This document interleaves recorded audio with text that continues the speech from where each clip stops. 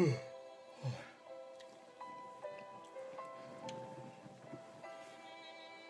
evening, good evening, good evening. I normally don't come on Sunday nights. I normally come on Thursdays. But as some of you may see, all the postings that I've been posting lately has been a lot. And God has kind of been heavy on me lately. But I'm going to get out what needs to be getting out tonight for those that's in that hard place. And sometimes God will take us through a hard place in order for that hard place that we're in can be shattered, can be broken, can be made soft.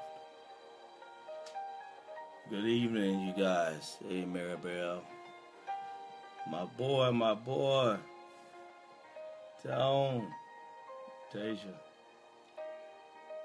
Well, tonight I'm not going to be long. It's probably going to be no more than 15 minutes. Mercy, mercy, mercy. Mercedes. Um, I just want to talk about that hard place and the reason why we sometimes go in that hard place. And we go in, but we also come out. So I will call it going through the hard place. And going through the hard place, we always got to go through to get to. Right? So, Wayne, Adrian.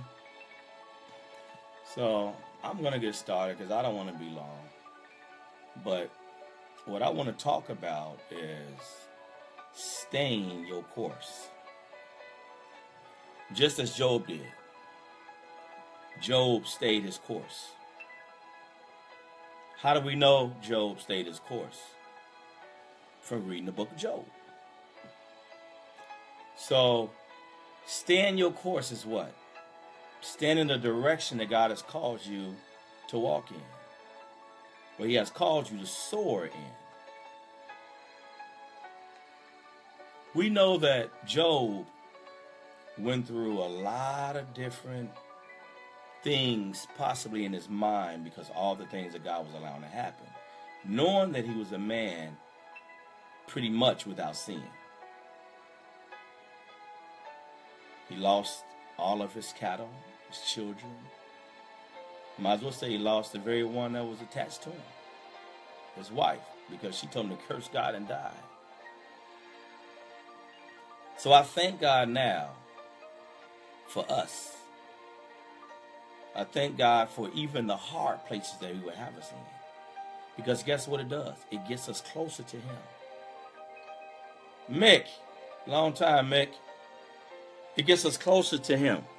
So while we're going through that hard place, if we can identify, if we can do as the scripture says in First Corinthians 2, if we can sort that thing out, if we can judge that thing, if we can figure out what's going on with that thing,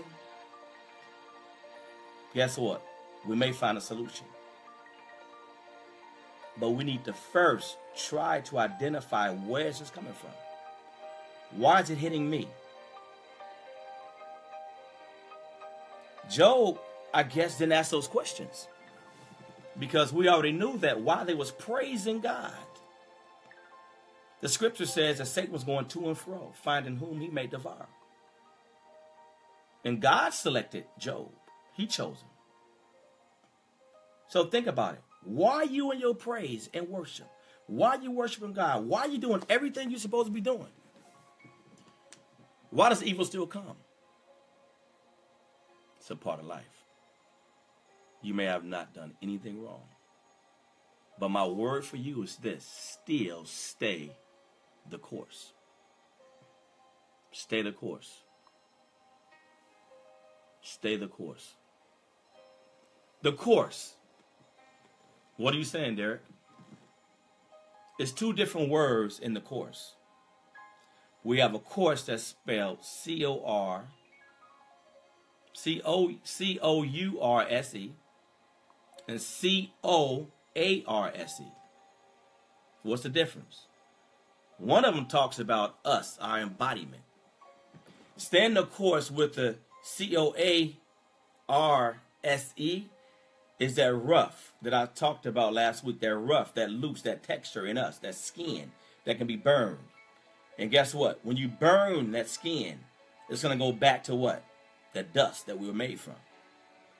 The other course is staying the course as Job did. No matter what comes your way, we must stay the course. Without staying the course, guess what? You're going to fall. Yes, you're going to get up, but you're going to fall. And we're not here to continue to fall and not learn from it. In our getting, get what? Understanding. If you're not understanding what are you going through, guess what? You're going to do it again. If you don't train your child and teach them that was wrong, don't do that anymore. Discipline them. Guess what? They're going to do it again. So as parents, we're here to train our child, our children. We're here to teach them the right way. And if we don't, they're going to do it again. So what course will they be on? They're going to be in a totally different course than what you expect them to be on. So we must identify the problem. We must know what to do, what to say, how to respond to that problem once it's identified. Give you an example. You have a kid They had a fight in school.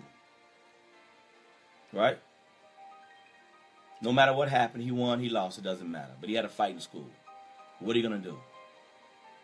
Don't fight anymore? No, you're going to first find out what happened. Why did you guys fight? Right? Once you find that out, then you're going to tell them that's wrong to fight in school. You're going to get in trouble. Once you tell them that, then what? Now you're going to lay out a plan, a course for him to follow. The same thing your Heavenly Father has done for you. You have a course, you have a plan to follow. And if you don't follow that plan, guess what? You may get smacked on the wrist. And may even worse, you may lose a job. You may lose a loved one something is going to happen that you may have to pay for. But again, going back to Job, he didn't do anything wrong. He was just caught up in a place where his faith had to be proven. Why? Proven to show that no matter what comes his way, he's going to stay the course. He stayed the course. No matter what happened, will you stay the course? Will you stay the course? That's the question you need to ask yourself.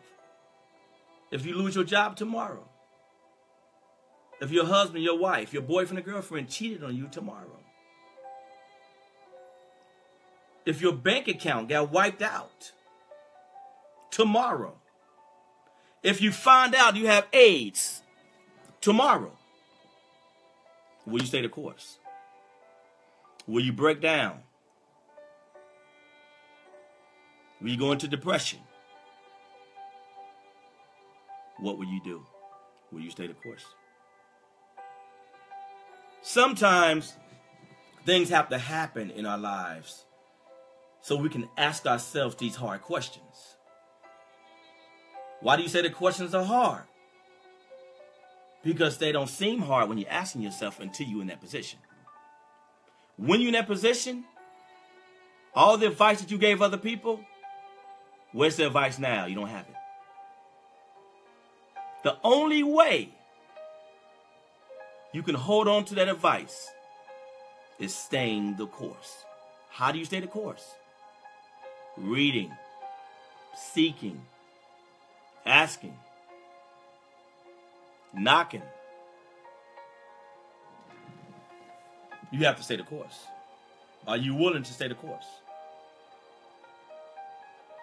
Course Stand in your direction. Stand in that lane. That lane that you know is going to get you out of. That bad place. That quicksand. That mud. Those weeds that you tied up in. That wayward way of thinking. Stay the course. Some of you guys have so much in you that you're fighting yourself. Some of you guys don't want to listen to no one else because your way have worked for so long. But guess what? It's a new way. It's a new way. What did Eddie Murphy say in the movie? It's a new sheriff in town. And that new sheriff is your God. He has called you before the foundation of this world to stay the course, to stay in line, to stay not only the course, not only in line, but being obedient to what he called you to be. Is it that hard? It shouldn't be. I want to read something to you from 2 Timothy 1. Paul, an apostle, a special messenger of Christ Jesus, by the will of God, by the will of God. You, a special messenger. I can't say that all of you guys are apostles, but special messengers. Yeah, you are. When you're speaking anything uprightly, guess what? You're preaching to that person. So I will call you an ambassador of a good deed, if you will. For those who don't understand who you are, whose you are, where you're going, consider yourself as someone that's still seeking to be found. Now hold on. To be found by whom? Not just God, but to be found by you. Sometimes we got to find ourselves. We got to find ourselves. We got to dig deep. Like Timothy. Like Paul noticed something in Timothy. He said he was a diamond. But he was covered up with what? Dirt. If he was a diamond covered up with dirt, but Paul knew it was something inside of him because of his grandmother and his mother. Just like in you, it's something inside of you. And most of us, we get to a place, we get to a position, we get to an age in our life, and guess what happens? We sometimes lose ourselves. But you know when the Bible says, train up in a child and where they should go when they get old, they won't depart? Why? because they're going to remember those things that they was taught at that younger age. They're going to revert back. They may not understand. So guess what you do? You seek, you knock, you ask, and you will be found. Found how? With the questions that you're seeking. Bob. What's up, Bob? Thank you, brother. So it's amazing how we sometimes will look at someone else and we'll judge a person. You can never judge a book by its cover. Again, like I said last week, you gotta know what's up in here. You gotta know what's in here.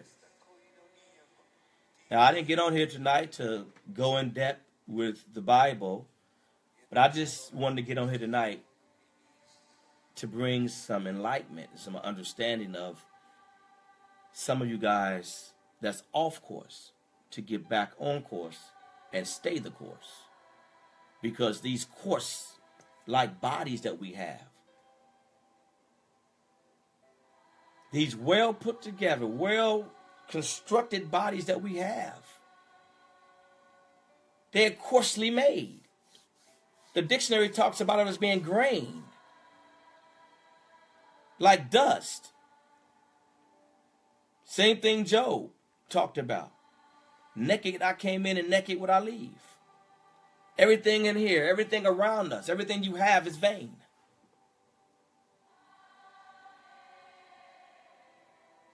So, what is it that you're looking for? Why are you in that dark place? And for those that's not in that dark place, if you ever go in that dark place, how would you get out? How would you even know how to get on course? Well, I'm glad you asked. How you get out, how you get on course, is go to the person that you know that has an inside connection with the source. You may say you have it, and that's fine. But you also know that it's someone that you know has an inside connection. The book of James, I believe it's 5, chapter 5, talks about the effectual, fervent prayer of the righteous avails much. Had a buddy call me today, Daryl. Haven't talked to Daryl since 2005. He was going through some things. He lives in Alabama. And Daryl said, Derek, you know, I thought about you, and it's I'm stuck in this hard place. But I know who I can call to get a prayer through. I know who stays the course. I'm human. Also would like the prayers from you guys. I also pray for myself. But some people are always calling upon you to pray for them and never pray for themselves. That's prostituting my gift. And that's not a good feeling to be prostituted. When you're staying the course and they're not. Again, back to Timothy. He says, Paul, an apostle, a special messenger of Christ Jesus, by the will of God, according to the promise of life that is in Christ Jesus, to Timothy now, my beloved child, to you is offered favor, spiritual blessings, mercy, and peace from God. So why is he saying this?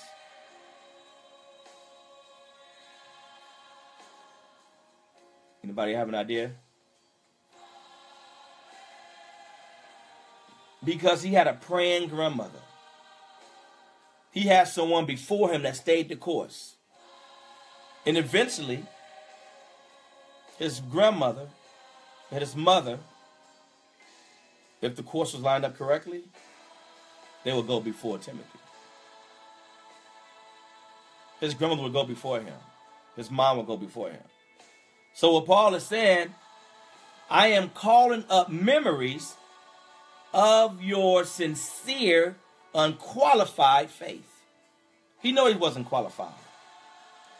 The leaning of your entire personality on God in Christ in absolute trust and confidence in his power, wisdom, and goodness.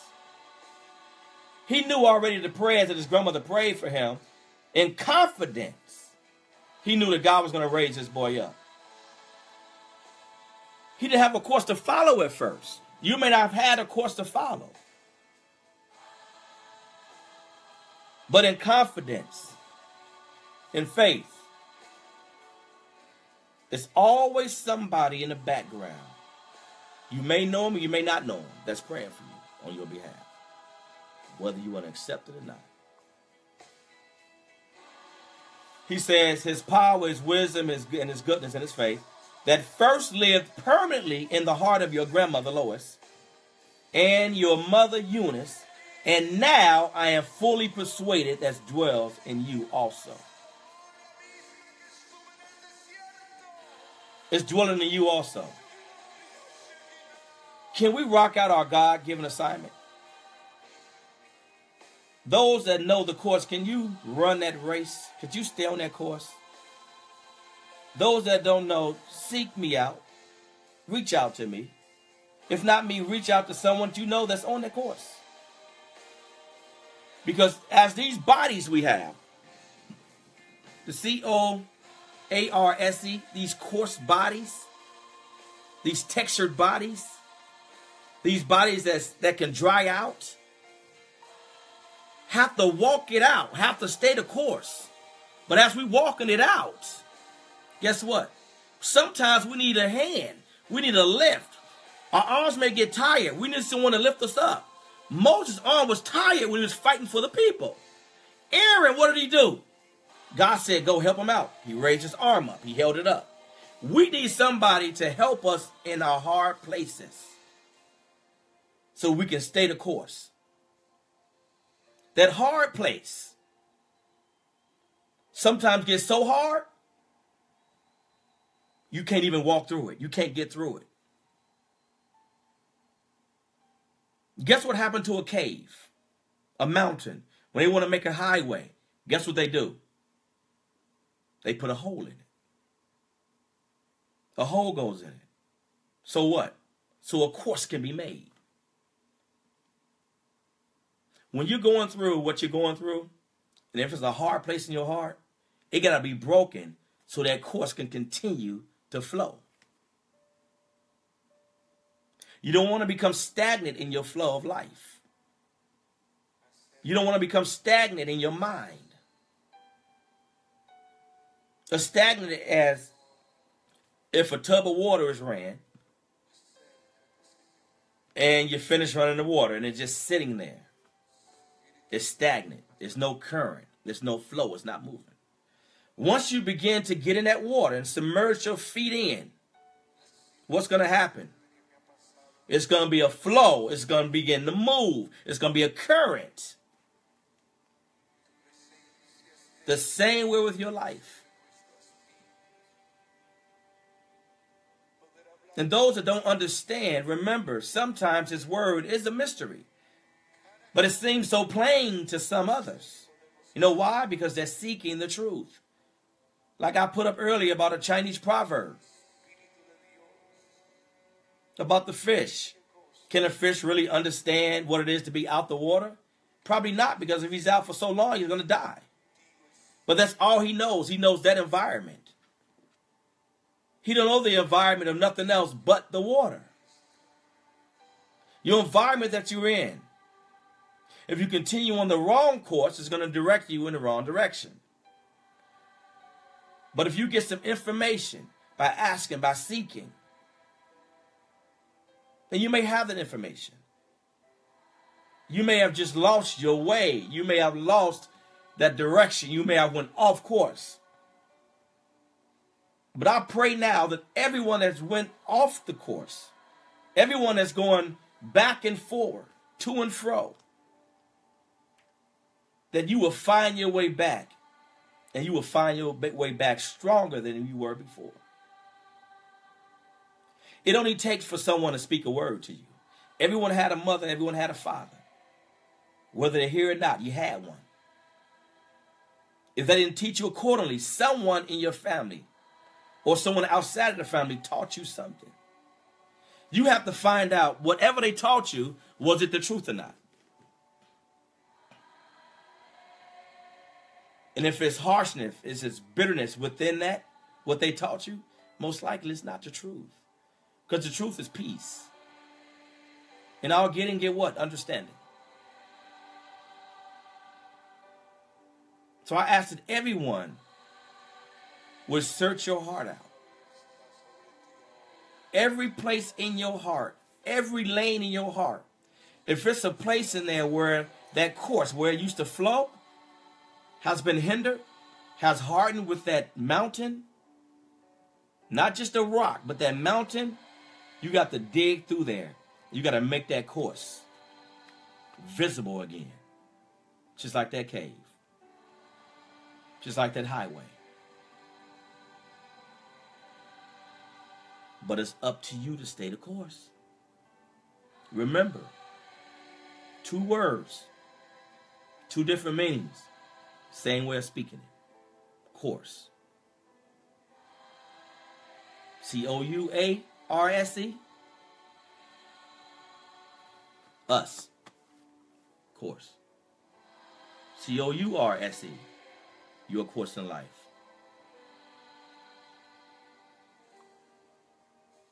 Now, probably been on about 15 minutes. I'll probably um, shut this down if anyone don't have any questions. Um, Dennis, my brother, what's going on, Dennis? Where are you, man? You in the States? Sup, Carrie?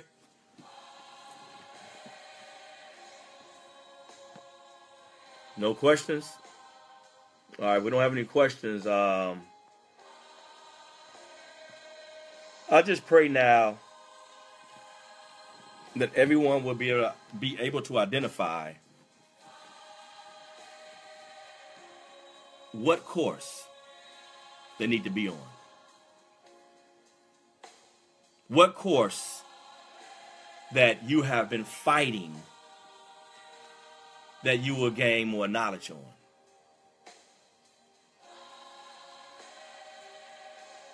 And why have you been fighting it? Because we can often find out the reason why we've been fighting it. You can get some resolve. If you're not a person to research anything, you won't have no resolve. Remember, I was sick with rhabdomyolysis. I had three days to live. The doctors said if I lived, I was going to be on dialysis the rest of my life. And for sure, a kidney machine.